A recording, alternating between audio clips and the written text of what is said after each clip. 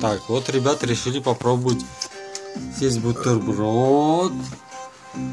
Там у нас кетчуп, хлеб, чеснок, сосисочка, долька чеснока, Горчица. горчица.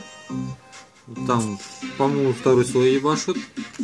Вот, человек попробовал все вместе сделать. Нет, смотри. Давай. Я хочу Горчица, она очень острая. Не, я хочу А. сразу сос кушать. Три. Прям чеснок. Прям 3-3-3.